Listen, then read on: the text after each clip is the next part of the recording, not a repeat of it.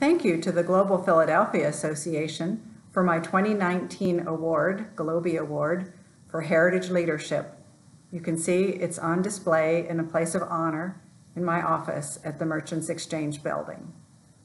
Congratulations to all this year's winners.